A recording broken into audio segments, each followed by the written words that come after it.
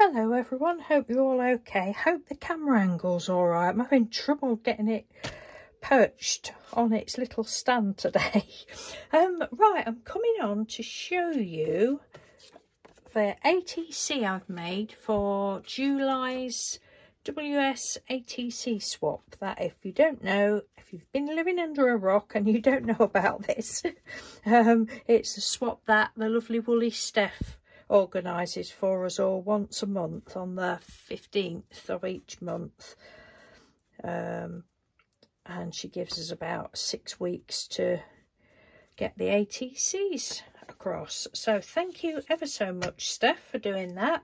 Uh, right, this month I'm partnered with the lovely Linda Pierce. So I have been using these markers that the lovely Trudy for Gluing kindly gave us. Thank you very much, Trudy. I love them. Uh, uh, so I've used these colours.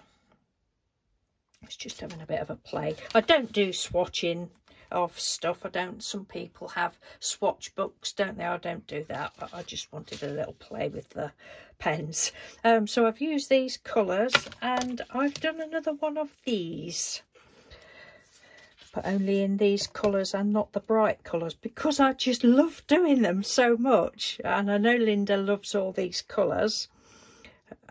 Um, so that's what I've done. And I think it's really pretty. Hope you like it Linda. I'm sure you will because I say I know that I know they're your sort of colours and I just chose different words this time. Feed your soul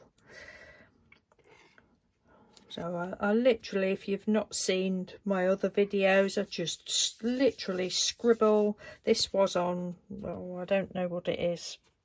Some sort of card anyway. You don't need anything special. They do bleed through, but I suppose that depends what paper you use.